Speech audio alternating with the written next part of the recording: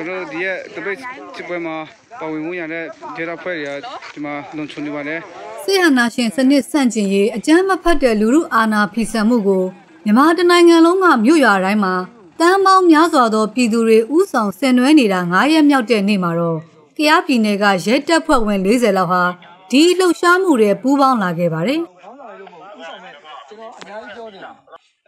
ရဲတပ်ဖွဲ့ဝင်ရဲနဲ့ရဲမေတွေဟာဆေးဟနာရှင်စနစ်ဖျက်သိမ်းရေး ဒီမိုကရေစီရရှိရေးဖမ်းဆီးထားတဲ့လူလူကောင်းဆောင်ဒေါအောင်ဆန်းစုကြည်နဲ့နိုင်ငံတော်သမ္မတဦးဝင်းမြင့်အပါအဝင်အားလုံးကိုလွှတ်ပေးဖို့တောင်းဆိုလှုပ်ရှားမှုတွေပါဝင်လာခဲ့ကြပါတယ်။ဒီသူနဲ့တာထရတီချောင်းနိုင်ငံတော်အာဏာကိုဥပဒေမဲ့လက်နက်ကင်ပုံကံပြီးသိမ်းယူလိုက်တဲ့စစ်ကောင်းဆောင်တွေက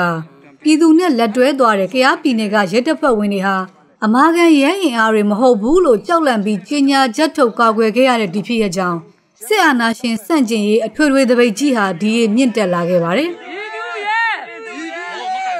ဒါဟာနေပြည်တော်နဲ့မန်းလေးမှာငြိမ်းချမ်းစွာဆန္ဒပြနေတဲ့တိတ်နဲ့ချီတဲ့ပြည်သူတွေကိုရဲတပ်ဖွဲ့ကအင်အားအလွန်အကျွံသုံးဖြိုခွင်းခဲ့လို့ဒီကမ္ဘာလုံးကလူအခွင့်အရေးအဖွဲ့တွေနိုင်ငံတကာခေါင်းဆောင်တွေကအပြင်းထန်ရှုံချပြီးသတိပေးမှုတွေထွက်လာခြင်းကရားပြည်နယ်မှာရဲတပ်ဖွဲ့ဝင်တွေကပြည်သူနဲ့ပူးပေါင်းလာတာဖြစ်ပါတယ်ရှိရေးဒိုရဲဒိုရဲဖာစစ်ကတိတ်တိတ်ခရသူများလူမြောက်ရေးဒိုရဲဒီပူးပေါင်းလာတဲ့ရဲတွေကိုဖမ်းဆီးဖို့လုပ်တဲ့အခါမှာတော့ ဒေသခံပြည်သူတွေကအကာအကွယ်ပေးခဲ့လို့ဘေးရန်နေရမရှိခဲ့ဘူးလို့ဆိုပါတယ်